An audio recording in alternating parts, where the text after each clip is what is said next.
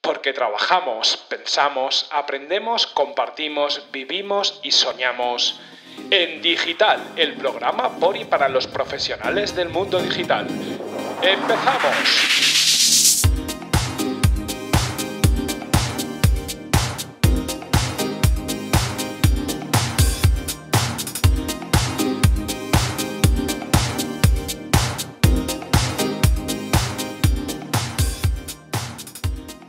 Cuando alguien nos cuenta su nuevo proyecto, su nueva empresa, su nueva startup, por lo general hablamos de producto, eh, hablamos de equipo, hablamos de la idea, hablamos de un montón de cosas, pero muy pocas veces nos centramos en las estrategias comerciales que vamos a seguir.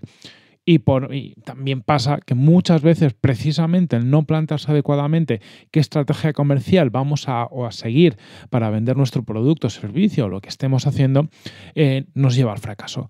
¿Por qué? Porque cada tipología de producto requiere de algunas necesidades concretas. Eh, podemos vender el mismo producto de forma directa al consumidor, podemos venderlo a través de canales de, distribución y cada uno de estos enfoques pues, nos, va, nos va a resultar en una estrategia totalmente distinta, con sus pros y sus contras, con sus tiempos de maduración que son absolutamente distintos y con la capacidad y el control del proceso de venta que varía también. Cuando vendemos nosotros directamente tenemos un mayor control, pero no tenemos que hacer todas las ventas desde cero porque nadie nos conoce inicialmente y si utilizamos un canal de distribución perderemos control pero ganaremos mercado.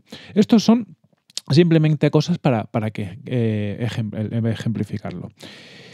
Eh, en este episodio nos vamos a centrar en la definición de estrategias comerciales para cualquier tipo de empresa, sobre todo para empresas tecnológicas, ¿no? Ya que estamos hablando en este podcast, siempre hablamos de digital, pero bueno, sirve para cualquier tipo de, negocio. Sí que es verdad que los negocios tradicionales tienen formas y procesos de venta muchísimo más eh, estándares eh, en cada uno de los verticales donde podamos montar algo. Es decir, si montamos un bar, ya sabemos cómo se vende en un bar, pero cuando hablamos de proyectos tecnológicos y proyectos que viven en el mundo digital, las posibilidades son muchas y muchas veces no, no están tan claras como pudiéramos eh, pensar. Para hablar de todo esto, contamos con una persona que sabe muchísimo de venta. Ya lo escucharéis en la entrevista, eh, lleva muchísimos años vendiendo todo tipo de productos. Y él es Javier Echalecu, fundador y director de nuevos proyectos de, de Cuombo, una agencia que eh, inició su andadura en temas más relacionados con, el marketing digital, luego comercio electrónico y a día de hoy se ha especializado en la definición de, de estrategias comerciales.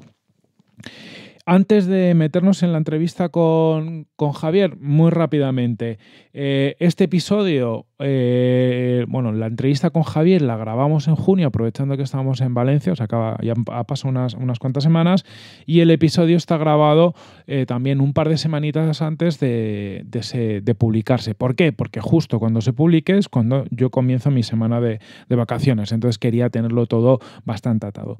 Os cuento esto porque quería hablaros de un evento que celebramos el 26 de septiembre en el marco del ISO, ¿vale? Es un pequeño evento que hacemos dentro del ISO el 26 de septiembre, 5 y media a las 7, que lo hemos llamado el nuevo e-commerce y donde eh, presentaremos cinco modelos de éxito de la nueva generación de proyectos de venta online. Ahora mismo tenemos confirmados para esta mesa redonda, este eventito que tenemos a Elena Fernández de Colchón Morfeo, a Víctor Rodado de Minimalist Brand y a Ramón Martínez Almerón de Dental Dentaltix. Dos de ellos ya han pasado por el programa y estamos cerrando eh, dos empresas más y en esta mesa redonda lo que trataremos es eh, distintos enfoques, eh, formas de, vender y de crear nuevos proyectos en el mundo de la, venta online.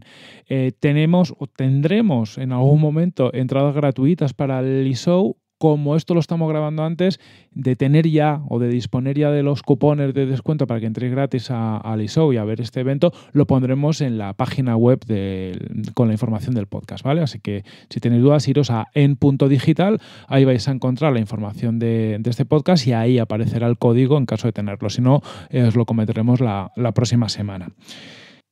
Como lo estamos grabando con antelación, tampoco tenemos sección de atención al cliente esta semana, así que directamente pasamos a la entrevista con Javier Echalecu, fundador y director de nuevos proyectos de Cuomo. Si te gusta nuestro podcast, dale a like en iTunes, en iBox o en el canal a través del cual nos estés escuchando. También puedes suscribirte a nuestra newsletter para recibir contenidos en exclusiva y puedes seguirnos a través de nuestras redes sociales para mantenerte al día de la actualidad del mundo digital. Toda esta información en nuestra página web en punto digital en Punto Digital. Estamos con Javier Echalecu, que es uno de los grandes veteranos del mundo e-commerce y del marketing en España. Estamos además aquí en sus oficinas. Javier, muchas gracias por acogernos aquí. Gracias a ti por, por la entrevista y por venir a, a vernos. Una pasada. Aparte, bueno, enlazaré las fotos de la oficina que tienen colgadas por internet porque esta oficina es muy chula. O sea, me mola un montón. Muchas gracias.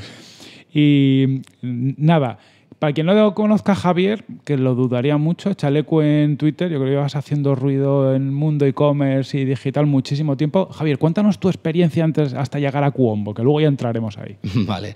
Bueno, yo eh, realmente soy comercial. Y mi profesión ha sido siempre la, la, profesión comercial y estar siempre en el mundo de las ventas. Yo acabé de estudiar en COU y no sabía muy bien qué hacer con mi vida. Me puse a vender bolsas de plástico y de ahí accesorios para comercio. Luego vendía equipos generadores de ozono, seguros, buscas, teléfonos móviles cuando era Moviline yo qué sé, hilo musical, he vendido prácticamente de todo. ¿no? Y en esa trayectoria, yo ya en su día, en el año 97 o por ahí, ya monté un primer estudio de diseño gráfico sin saber muy bien ni lo que era el diseño gráfico ni lo que era nada de todo esto, porque yo vendía y, bueno, tenía gente que luego hacía esos diseños y los, y los trabajaba. ¿no? Entonces, eh, digamos que fui combinando siempre el mundo de las ventas con el mundo del diseño. El diseño por vocación y las ventas pues por descubrimiento. ¿no? Y he trabajado en infinidad de sitios, he hecho prácticamente de todo por cuenta propia, por cuenta ajena. Acabé en Inditex, eh, eh, en, la empresa Tempe de, Inditex, que es la filial que hace el calzado. Estuve unos meses y aprendí un montón de cómo se hacía un proyecto de calzado para una marca de ropa. Y entonces presenté ese proyecto, que creo que fue mi primera startup, por así decirlo, en el año 2002 y presenté un proyecto a una firma importante de ropa y nos compraron que fuésemos la, startup de desarrollo de producto de calzado para esa filial de ropa. ¿no? Y estuvimos como cuatro años trabajando con ellos en exclusiva, facturamos más de cuatro millones de euros, fue una cosa súper divertida, haciendo zapatos que yo no había hecho zapatos en mi puñetera vida, ¿no? pero bueno, como casi todo lo que he hecho, ¿no? que no lo haces hasta que te pones y, luego sale, luego sale. Yo, esa frase que dicen de que no sabía que, o sea, lo hice porque no nadie me dijo que no podía hacerlo no sabía que no podía hacerlo, yo la he vivido tantas veces que, que, bueno, que, que la tengo muy interior ¿no? Aquello al final se hicieron cosas muy chulas, pero se hicieron cosas muy mal. No sabía de empresa y a los cuatro años acabó rementando aquella empresa y me arruiné. Entonces estuve un tiempo trabajando en Vodafone de comercial eh, empecé a desarrollar estrategias de ventas para vender mejor las líneas que Vodafone nos, nos, ponía como objetivo. Desarrollé un montón de productos junto con nuestro equipo de la distribuidora y terminamos siendo un distribuidor con bastante gente. De hecho, eh, cuando yo entré éramos como cinco comerciales y cuando me fui de allí éramos como cuarenta y tantos de, de, todos los productos que desarrollábamos y cosas muy chulas. Y ahí nació Cuombo, cuando ya por fin, gracias a Vodafone, conseguí liquidar mis deudas y volver a empezar a ser persona de nuevo a, nivel financiero, dije, tengo que empezar de nuevo, tengo que volver a intentarlo. He emprendido un proyecto, no ha salido bien, he intentado otros proyectos anteriormente y se han quedado como a medias. Creo que es el momento de hacer algo yo solo en lo que crea. Y empecé con Cuombo en el año 90, en el 2008, perdón, hace ahora 10 años justo.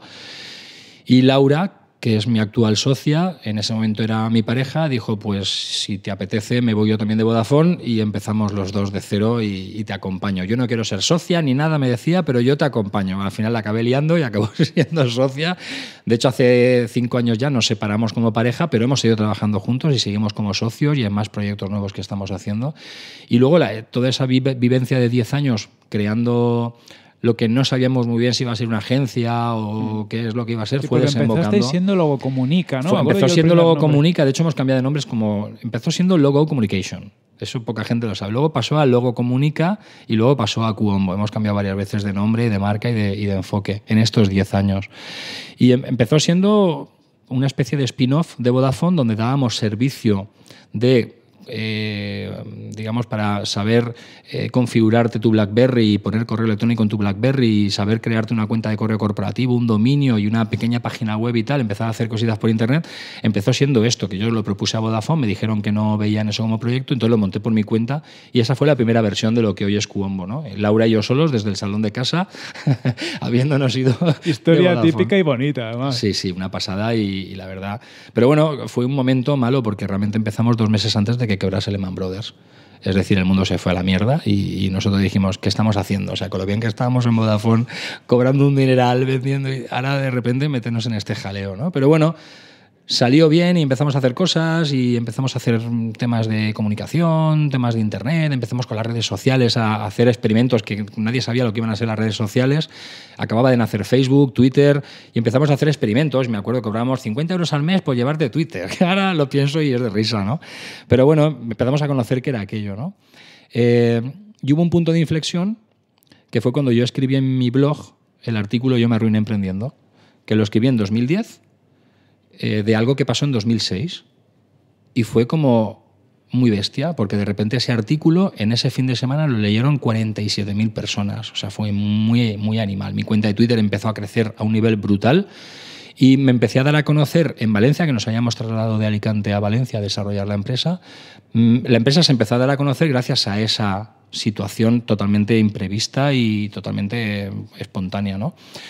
Y, Cuombo, o sea, lo que luego fue Cuombo, luego Comunica en ese momento empezó a cambiar. Y empezamos a decir, hostia, la, venta online es algo en lo que estamos aportando mucho, vamos a especializarnos ahí. Empezamos a contratar programadores, crecimos mucho en desarrollo de producto a nivel de desarrollo de tiendas online, de e-commerce, nos especializamos en Magento, tuvimos un equipo bastante grande de programación y durante unos años estuvimos ahí, que fue cuando, cuando tú y yo nos conocimos, ¿no? en la época de BrainSins, cuando empezamos a integrar BrainSins en, en, en las tiendas, en Magento y tal.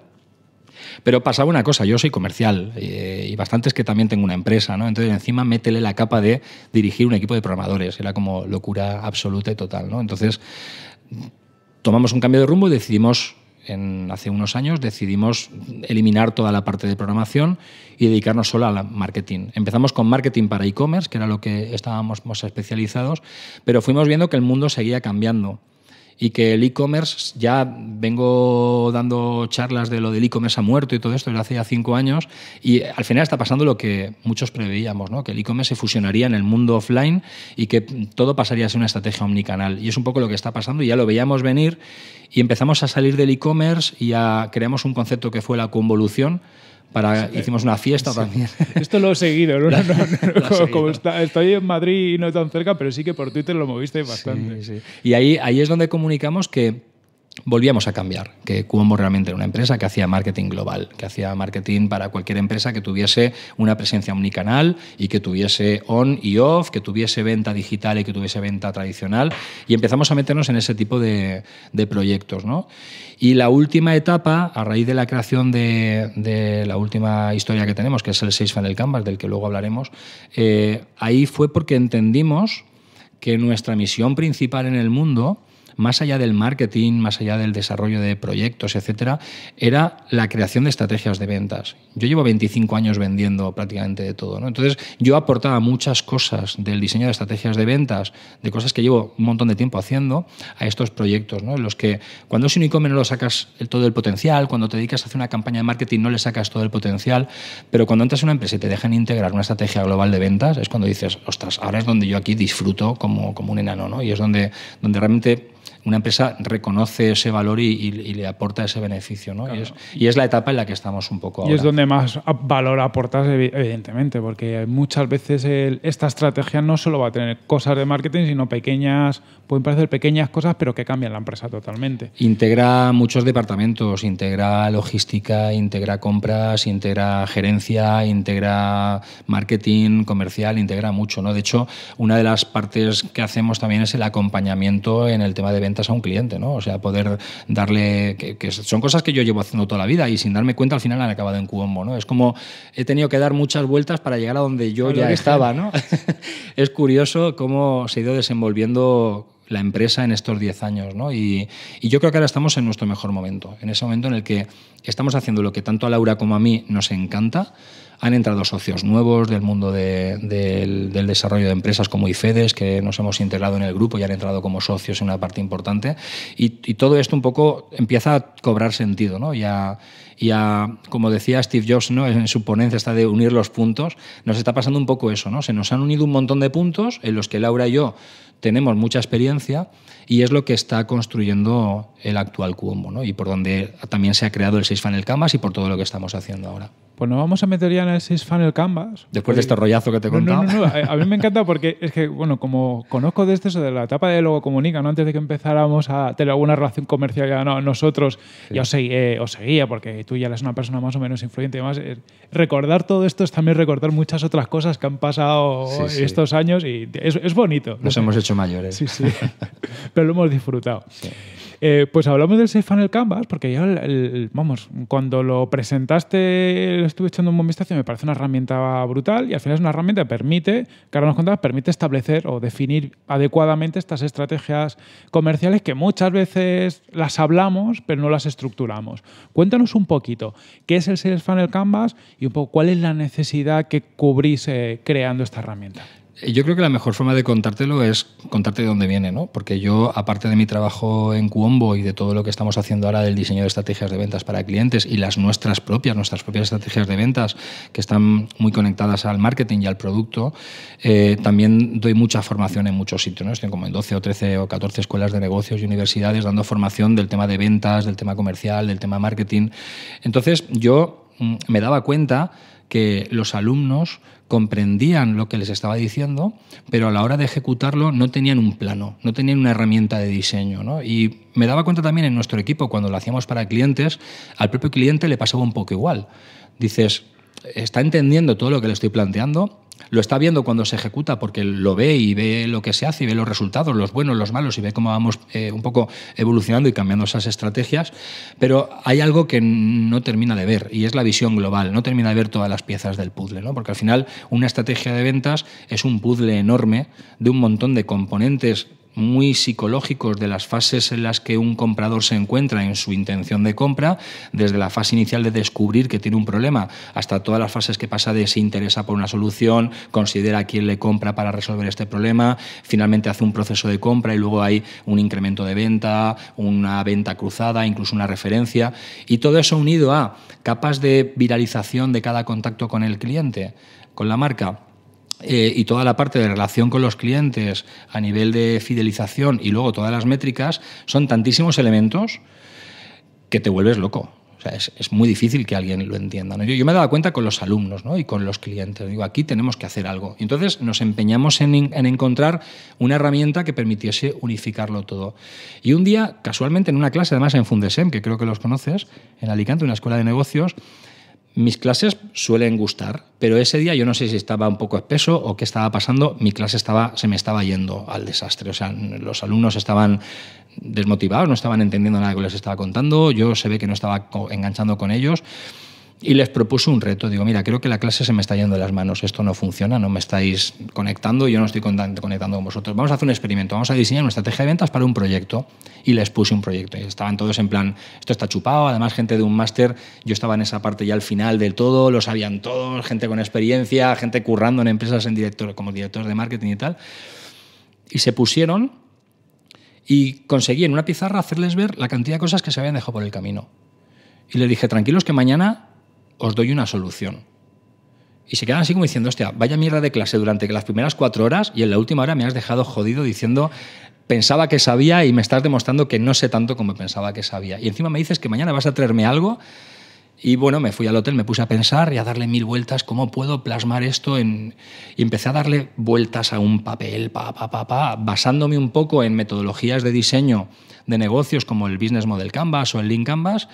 Y fuera de intentar crear un- una versión de eso, hice un- uno nuevo enfocado a el sistema de ventas de un, proceso. De hecho, est- este Sales Funnel Canvas nace de la parte de relaciones con los clientes y canales de un Business Model Canvas. Es como un zoom ahí dentro. No, no es que sea una, una inspiración de cómo es el Business Model Canvas, sino que es un zoom a una de las partes muy concretas, que es donde está el meollo de la estrategia de ventas, ¿no? en relaciones con los clientes y canales.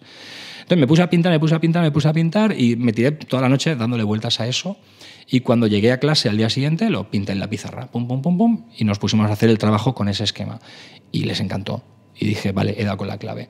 Volví a Cuombo, eh, lo registramos para tenerlo todo bien protegido y, poder, explotarlo luego comercialmente. Eh, lo, implantamos en el equipo, se hizo un trabajo de diseño de la herramienta y se hizo un manual, se hizo una web, se empezó a mover y fue una cosa que, que se ha terminado siendo el eje de conocimiento y el eje de contenidos de todas las clases que imparto. Le hemos dado la vuelta a todas las clases, le hemos dado la vuelta a todos los talleres, hemos creado modelos de formación totalmente nuevos, lo hemos implementado dentro de Cuombo y lo que permite básicamente es lo que te estoy contando, ¿no? Dar una visión muy de vista de pájaro de todas las partes que tiene ese puzzle que es crear una estrategia de ventas a todos los niveles, ¿no? Perfecto. Pues vamos a poner eh, enlace a la página web de, del Sales Funnel Canvas, porque ahí lo podéis bajar. Yo me lo bajé ya varias veces, o sea que es, es fácil. y, ahí lo tenéis además en varios formatos. Bueno, lo tenéis muy bien preparado para que quien quiera lo, se lo baje y lo pueda utilizar como, como quiera. Y tiene el manual de uso y demás. De todas formas, vamos a aprovechar que estamos aquí con Javier para exprimirlo un poco y que nos explique un poco cómo, pues bueno, cómo, cómo se utiliza al final este, porque es una metodología, cómo se utiliza esta metodología. En grandes rasgos, ¿cómo cogemos esto? Y lo utilizamos? ¿Cómo nos podemos a trabajar con el Sales Funnel Canvas? Vale, es muy sencillo porque lo que tiene es una herramienta de diseño, es igual que el Business Model Canvas. El que coge el Business Model Canvas para diseñar le permite ir dándose cuenta de cómo va evolucionando el negocio. ¿no? Si pensamos que el Business Model Canvas es una herramienta de presentación o es una especie de business plan, se está equivocando porque es un documento vivo. Business, el Sales Funnel Canvas es un poco igual. Es cómo diseño una estrategia de ventas con todo el equipo para luego, a medida que voy poniendo en marcha todas esas capas, voy viendo qué tengo que cambiar, qué tengo que ir, que, tengo que ir modificando o, eliminando o mejorando. ¿no? Entonces, cuando tenemos claro nuestro business model canvas, cuando tenemos claro nuestro modelo de negocio y tenemos muy claro a quién me dirijo, qué solución, o sea, qué problema tiene o qué necesidad tiene y cuál es mi producto, mi servicio, mi propuesta de valor y cómo curo esos problemas o esas necesidades, ahí empieza el Sales Funnel Canvas. Sitúo el cliente al que me dirijo y el problema que tiene con el producto que le soluciona el problema o el servicio y cuál es esa propuesta de valor y empiezo a diseñar todas las patas desde cómo consigo llegar a alguien que tiene un problema, la fase de awareness, hacer que descubra que tiene un problema, hacer que quiera saber cuál es la solución, y entonces pasa a la fase de interés. Ahí, ¿qué tengo que hacer ahora? Pues mostrar eh, o diseñar con qué herramientas, canales, con qué estrategias incluso de comunicación le enamoro con la solución. Entonces, mm, depende del proyecto, hay veces que es más rápido, hay veces que es más lento, hay veces que hay fases que requieren más maduración, hay otras que son más inmediatas, pero trabajo con todo lo necesario para enamorarle en esa, fase de, en esa fase de interés. Cuando ya se ha enamorado con la solución, pasa a la fase de consideración, es donde empieza a evaluar otras alternativas otros proveedores, otros productos, otros servicios, otras. ¿vale? Entonces, ahí tengo que convencerle. Toda mi estrategia implica qué hago en esta fase para convencerle que tiene que ser conmigo. Y que tiene que ser ya, además, ¿vale? independientemente del periodo de maduración que requiera la fase de consideración. Y una vez que ya he conseguido que me elija a mí y inicia ese proceso de compra, en un e-commerce es agregar al carrito, en una venta de servicios es eh, te firmo una propuesta, depende de dónde sea, ahí diseño qué tengo que hacer en toda la fase del purchase. ¿Vale? Cómo todo el purchase, todo el proceso de compra lo va eh, a hacer para yo ver qué palancas tengo que poner a nivel de marketing o a nivel de recursos comerciales, ¿de acuerdo? Y luego me meto en la siguiente fase, cómo motivo con un producto desagregado como gancho que luego me haga un upselling, ¿Cuántos de los que me han comprado consigo que me compre la versión superada, la versión mejor, la versión un poquito más grande? Y además les vendo cosas relacionadas en el, en el cross-selling. Y si encima consigo, en la última etapa, diseñar con qué herramientas o actividades consigo que me traiga más clientes porque está contento, ahí hemos, es donde hemos completado todo el proceso. ¿no? Eso sería la capa de arriba del, del Sales Funnel Canvas. Luego le añadimos una capa donde dibujamos cuáles son los canales en los que se va a trabajar cada una de esas fases para saber dónde tenemos que hacer foco luego en la producción de cosas. Si en mis canales está Facebook, Instagram y una web, y no implica para nada la necesidad de un blog, no hagas un blog ¿vale? Pero tienes que tener claro cuál es tu estrategia de ventas y qué son las herramientas y los canales que necesitas. ¿no? Entonces, esto nos ayuda a hacer foco para luego la inversión en producto, en herramientas o en plataformas. Metemos otra capa, que es lo que llamamos el viral loop, que es para conseguir, cómo conseguimos que en cada una de esas fases esa persona que está interactuando con nosotros, independientemente de que pase o no de fase, comparta en Internet o comparta en diferentes medios que está conociendo algo que a otros les puede gustar. No es un referral como tal, porque no es un cliente que haya comprado y me traiga otro cliente, pero sí es alguien que está compartiendo lo que está conociendo de nosotros. Entonces lo tenemos en la capa que toca. Cada, hay un viral loop en cada una de las fases por si en alguna de las fases es más conveniente que en otra trabajar ese viral loop, pero lo tengo identificado y no se me olvida mm, intentar hacer una acción sobre ello. ¿no? Luego tenemos toda la capa de métricas, que esa es la más compleja, donde vemos cuánta gente pasa de una fase a la otra y poder actuar si consideramos que es eh, una cantidad pequeña, pues poder hacer acciones y las métricas de cada una de las fases. ¿no? Esto nos permite montar un cuadro de mandos específico de esa estrategia. Porque me he dado cuenta muchas veces que trabajamos cuadros de mandos demasiado genéricos, de, pongo Analytics y lo mido todo. Hostia, ¿y para qué mides todo si hay cosas que a lo mejor son irrelevantes? ¿no? Pues cada estrategia de ventas tiene sus tres, cuatro métricas clave. Es que a veces no te hacen falta muchas más. Luego tienes métricas secundarias que te ayudan a entender las claves, ¿no? Pero las claves son las que tienes que poner ahí en esa estrategia de ventas y diseñar el cuadro de mandos de esta estrategia de ventas en concreto, ¿no? Con lo cual te ayuda también a focalizar cuáles son los indicadores más apropiados para esta estrategia y los colocas y, trabajas de una forma mucho más eh, focalizada a, a este proceso, ¿no? Y lo último, lo que siempre se ha llamado la fidelización, lo hemos metido una última capa que, es el Keep Customer, donde entendemos que un cliente es cliente desde que puede ser cliente, no desde que te compra. Entonces, ¿por qué no voy a hacer acciones para fidelizarle incluso en la fase de que acaba de descubrir que hay un problema que yo podría resolverle? ¿no?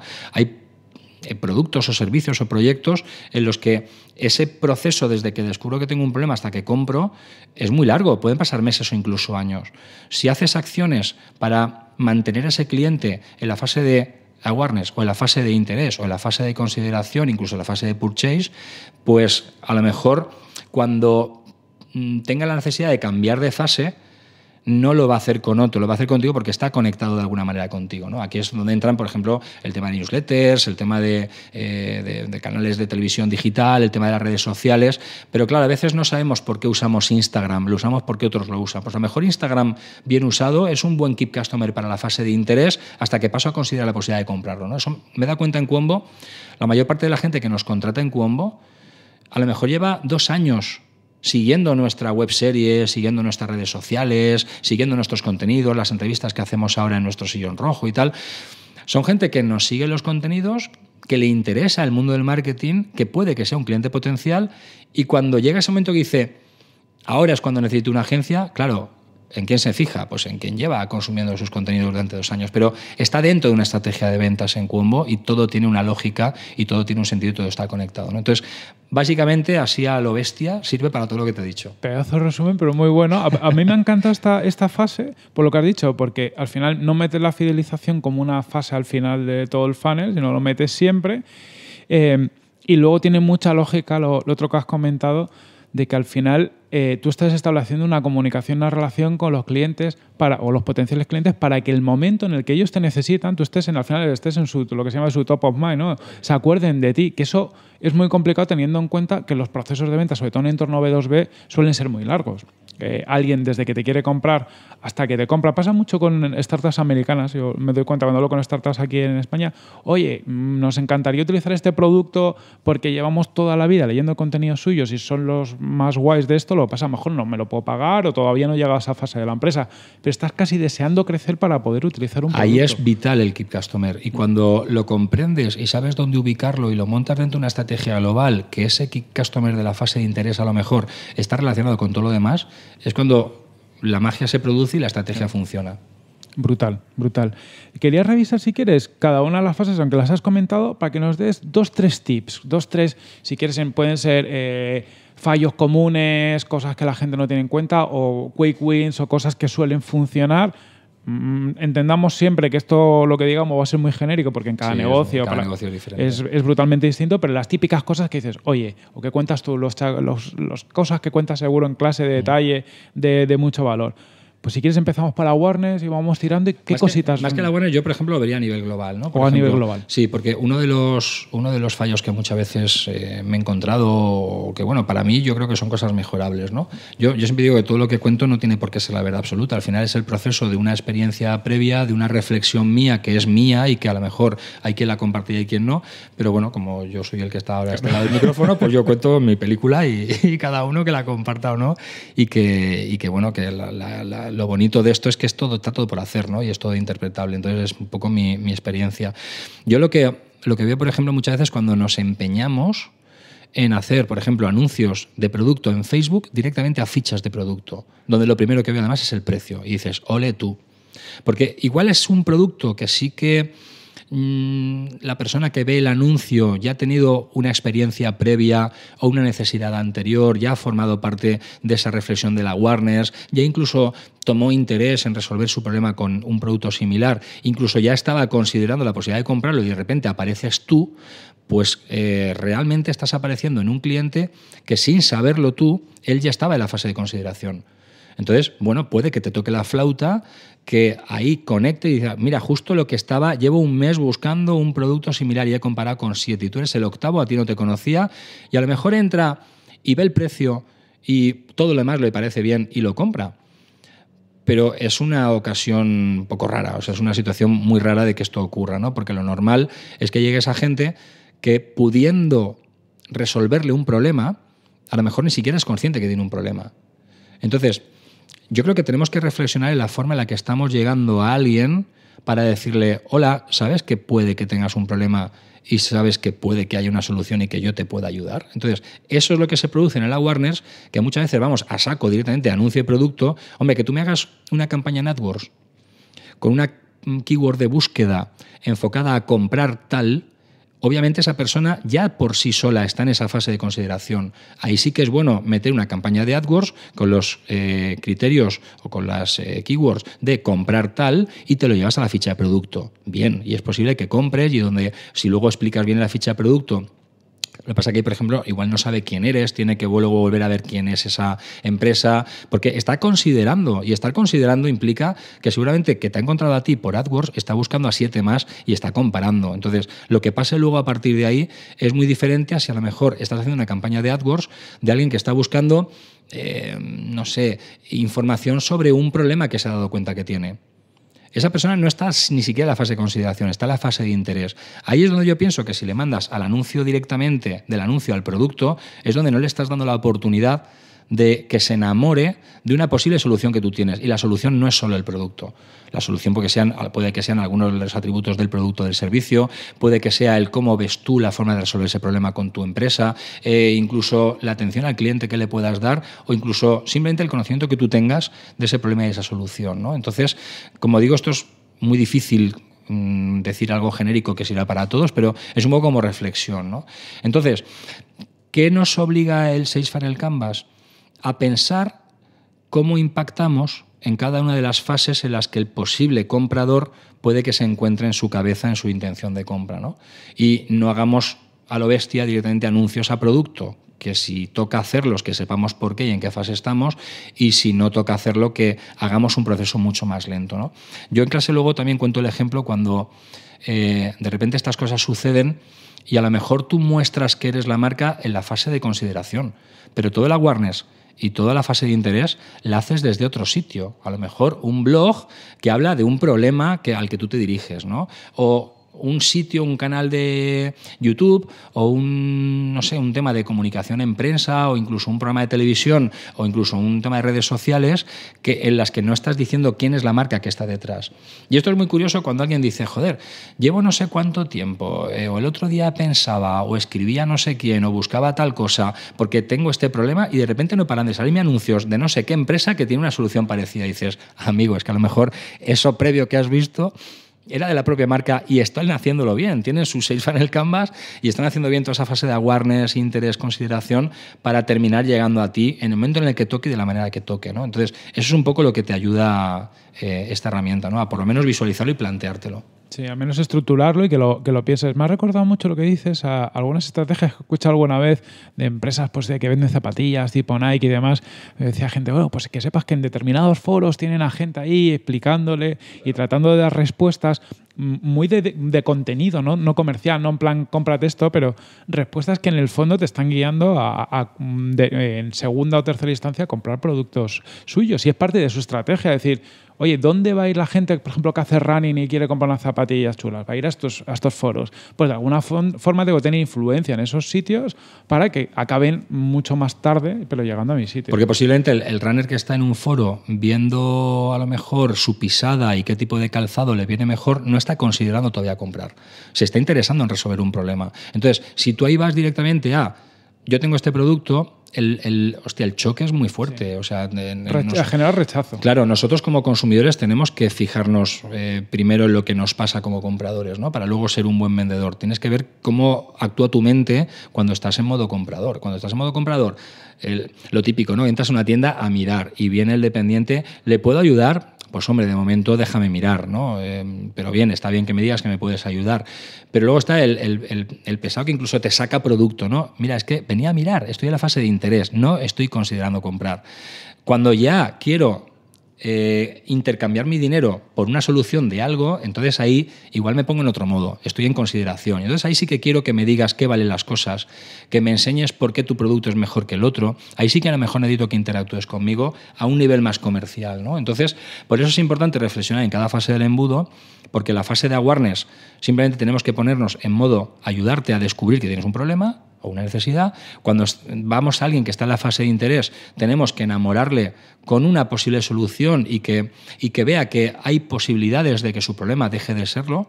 Y cuando pasa a consideración, tenemos que mostrarnos como la mejor opción para convencerle que sea con nosotros. ¿no? Entonces, y en el purchase, acelerar el proceso y facilitarle la compra. Yo he visto, bueno, tú lo sabes, en el e-commerce, por ejemplo, procesos de compra infernales donde dices, tío, ¿de verdad me quieres vender? Porque me lo estás poniendo tan complicado que mejor me voy a otro sitio. ¿no?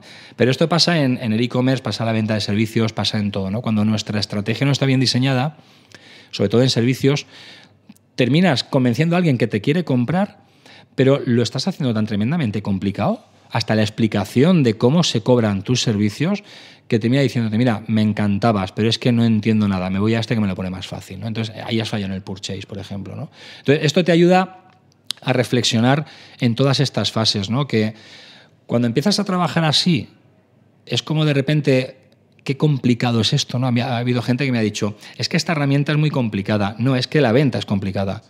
Esta herramienta intenta ayudarte a que simplifiques el proceso de diseño, pero la venta es complicada. Si tú piensas que una estrategia de ventas es pongo un anuncio en Facebook o en AdWords y lo mando a la ficha de producto y espero que esto funcione, pues entonces el que está equivocado eres tú, porque eso no es una estrategia de ventas. También yo veo otra ventaja y es que al tenerlo estructurado, porque claro, el que te dice es que esta herramienta es complicada porque viene de yo hago lo que quiero en ventas, no lo pruebo, incluso aunque funcione, no sé por qué ha funcionado, por qué no ha funcionado. Y yo creo que esto lo bueno que tienes que luego si tienes que escalarlo, oye, pues tú tienes tu estrategia, la has ido modificando, la tienes documentada, tienes los números eh, de cada uno de los cambios y con esto puedes tomar luego decisiones que no sean únicas y exclusivamente como se ha hecho de mucha parte comercial tradicional, que es casi por, por instinto, ¿no? Esto es un tío comercial bueno, pero si mañana se me va, ¿qué hago?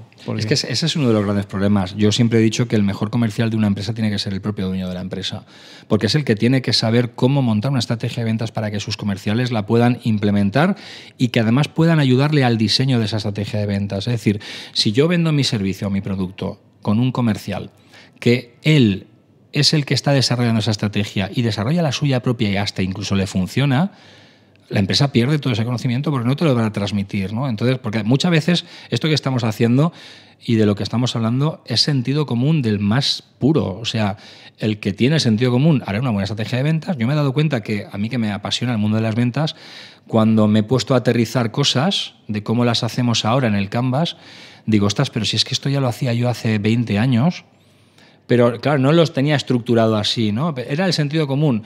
Yo me iba a vender hilo musical de Telefónica a un bar y yo ya no entraba al bar y decía, hola, soy Javier Echalecu de Hilo Musical, vengo a enseñarte nuestro producto, porque me decía, me importas un bledo, estoy poniendo café, ¿sabes? Sin embargo, establecí otro proceso diferente en el que entablaba una conversación sin decirle quién era para interesándome por cómo ponía la música en su local, hablo del año 96, es decir, no había eh, Spotify ni Internet como lo conocemos ahora, ni siquiera se había creado el formato MP3. ¿no? Entonces, le hacía ver que tenía un problema y, él me decía, hostia, pues es verdad, es que tal y como estoy poniendo la música, pues sí, tengo este, este, este, este, este problema, ¿no? Pero claro, es lo que hay.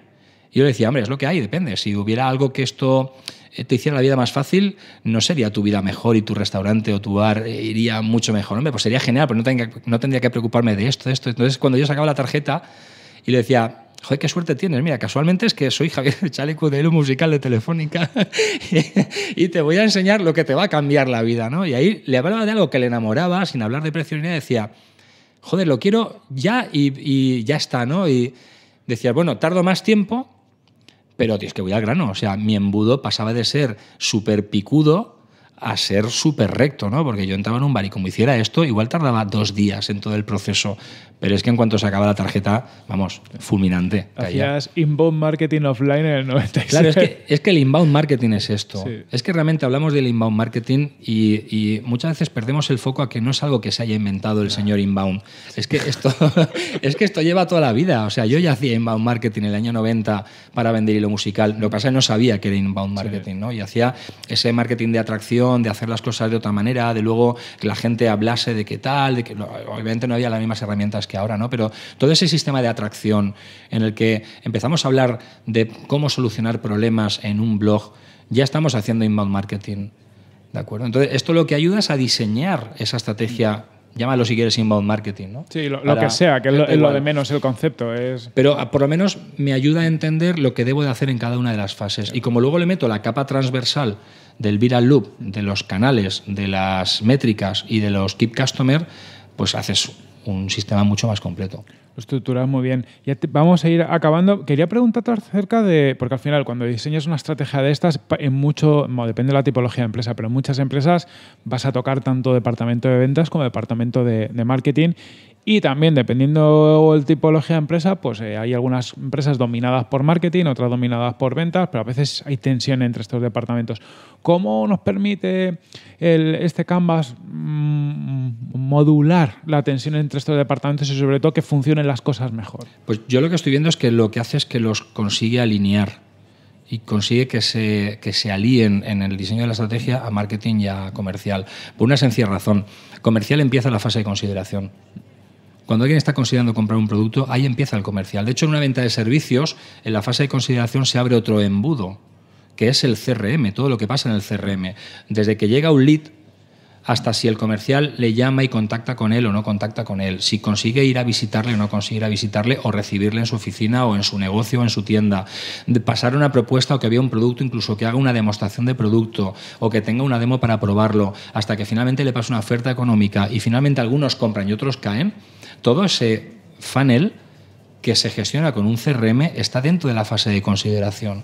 Por lo tanto, en una empresa de servicio o de producto donde la parte comercial empieza ahí y tiene que luego transaccionar en un purchase que a veces es físico y a veces es online, si lo conectas con todo lo que marketing te va a dar, desde cómo consigo hacer que alguien descubra que tiene un problema, esos contenidos en redes sociales, esa parte de inbound, para mostrarle luego una landing, una página, un sitio donde se ve una demostración de producto, un influencer donde está enseñando lo que las fantásticas mm, formas de resolver un problema que tiene este producto, este servicio, para que finalmente llegue ese lead donde entra ya comercial, cuando consigues que vean esas dos partes, que son todos parte de un proceso y que todo tiene que tener coherencia, es cuando dicen, hostia, coño, tenemos que trabajar juntos. Y es que mola, porque lo que tú me das yo luego lo aprovecho, ¿no? Y lo que tú hagas después es el fruto de lo que yo te he hecho al principio.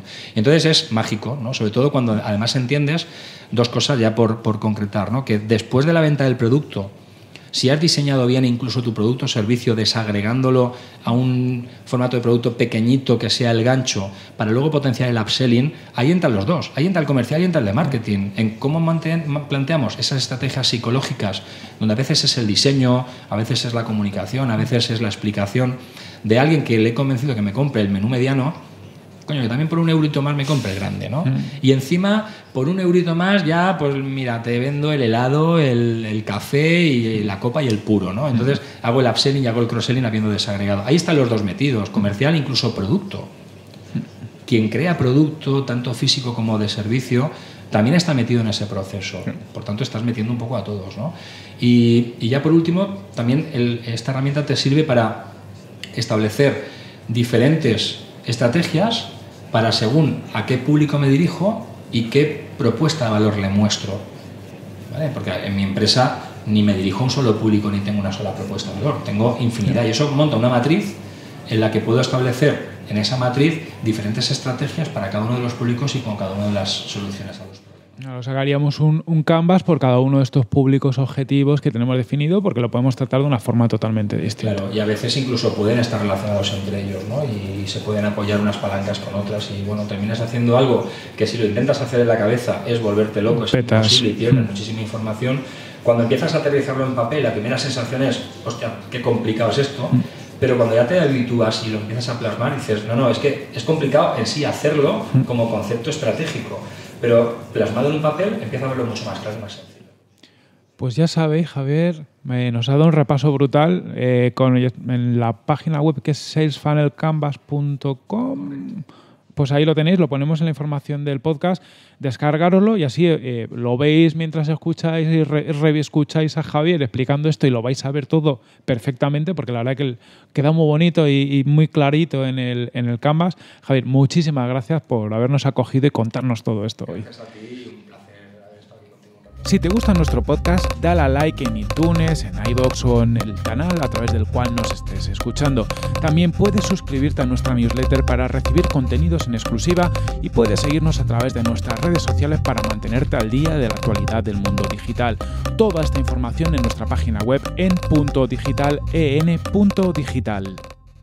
Bueno, espero que hayáis disfrutado de la entrevista con Javier y hayáis aprendido de, temas de definición de estrategias comerciales. Os recomiendo que os, eh, bajéis el 6 Funnel Canvas para echarle un vistazo y que, veáis un poquito cómo os puede ayudar a estructurar vuestros, la, forma de comercialización de vuestros productos y servicios.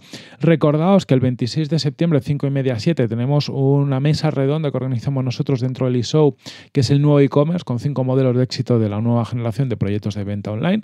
Os recomiendo que vais a ver la información que enlazaremos desde, desde la página web del podcast en punto digital.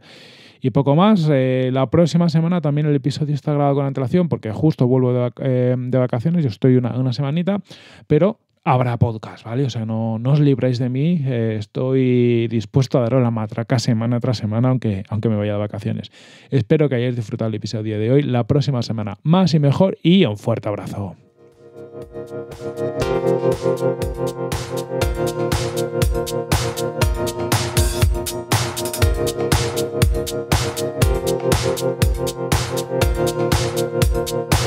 Thank